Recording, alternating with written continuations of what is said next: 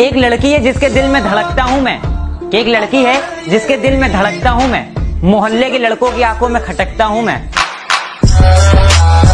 उसने मुझे बुरे वक्त में छोड़ दिया था और अब उसका कॉल आया। कहती कहाँ पे हो? मैंने कहा मैं तो बाहर आ गया। कहती बाहर कहा? मैंने कहा तेरी औकात से.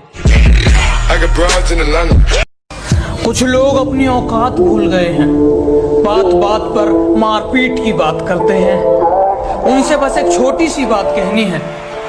बेटे चूड़िया हमने भी नहीं पहनी है। और क्या कहा था आपने कि शराब पी के अब गम नहीं बुलाया जाता?